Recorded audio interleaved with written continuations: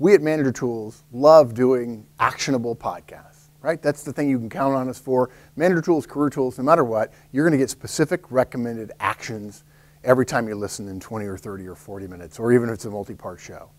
Sometimes, though, that means things get left on the floor.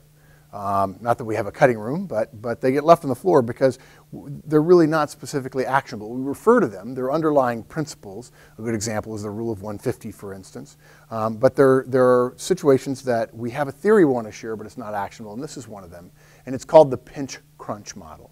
And it's a very simple sociological or psychological interpersonal communication model that simply says this. If you have a relationship with another person, whether it's professional or personal, uh, uh, if it's a boss or subordinate or peer, it doesn't matter, any, any relationship at all, there is an understanding about what the parameters and rules are in that relationship. If it's your boss, obviously it means your boss can tell you to work late. Uh, if it's your spouse, it means you don't give him or her feedback. There are all kinds of parameters and rules that we understand. Uh, we have different parameters and rules with our children than we do with our parents, than we do with our peers, as opposed to our subordinates, as opposed to our bosses. Each one of those relationships, and depending upon the type of friendships you have, each one of those has a different set of parameters and rules associated with it. The pinch crunch model says this. Periodically, as you're uh, interacting with someone, communicating with someone over a period of time, there are times when the relationship experiences a pinch. A little moment where one or both people feel a little bit of disconnect where someone perhaps behaves slightly out of the relationship.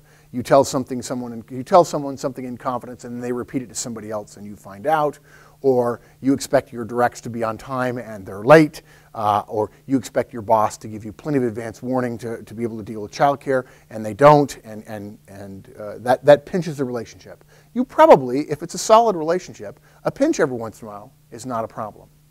The pinch crunch model, though, says this.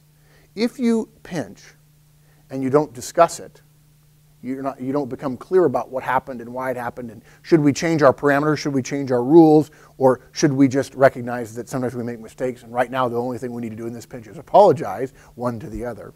If you have a pinch, and then you have another pinch, and then perhaps another pinch, and there is no planned renegotiation, there's no discussion of what the pinch was, you end up in what we call a crunch.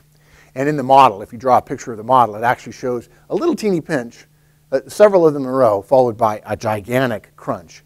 And unfortunately, what happens is the crunch is what gets the press, is what we focus on when there is an ongoing relationship of, of any type. The crunch is what seems to be the, the moment of parting or when, when, when we simply say we're going to disassociate ourselves from one another. One another. We, we fire our director, we decide we want to leave our company because our boss is a jerk or our peers are not supporting us, whatever the case might be. Um, or we stop talking to our child for a week because we're so upset with his or her behavior, whatever it might be. We, we've had some pinches, and then because we don't address things as they come along, those pinches build up, and then finally we have a crunch. And the pinch crunch model says rather than focusing on how to solve that crunch, the way to solve, uh, to get to a successful relationship is to deal with the pinches when they happen. This is an underlying theory that Mike and I, uh, the entire Manager Tools team, knows to be true.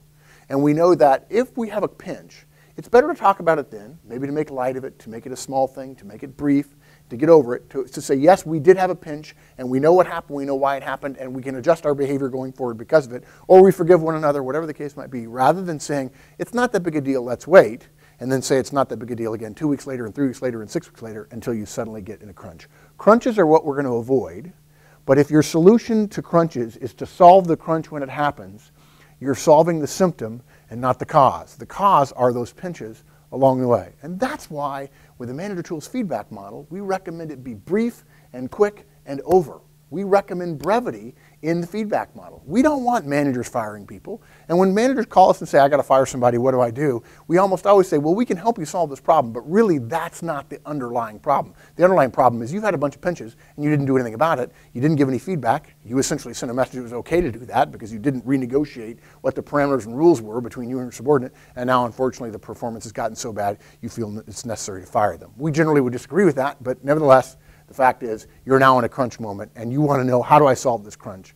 And really, the solution to crunches happens long before, and the right solution to a pinch. And that is the pinch crunch model.